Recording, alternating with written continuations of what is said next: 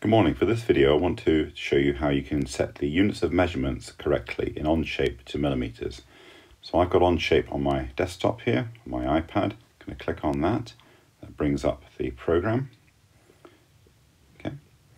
Uh, by default this is um, set to in inches. We want to make sure that we have this um, set to millimeters um, ready for, for use. So I'm going to go to my documents here.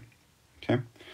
And then on the top left hand corner, there's a little house symbol. Click on that. Okay, that brings me to this, this area here. And then if you click on settings on the bottom right hand corner of your iPad, settings, then go to my account and then go to preferences. So it should have your units, the length in millimeters. If it is saying it's in inches, yeah, you need to change that to millimeters. Yeah. And then click on the cross to close that. Now then, if you go back to documents and you start a new document, so we'll call this one um, test, or let's be imaginative, let's call it test 8. Click on OK. Load up.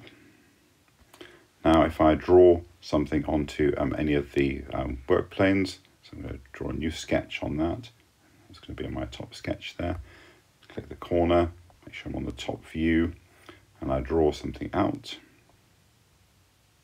There we are, there's my shape there. And then I try and dimension it.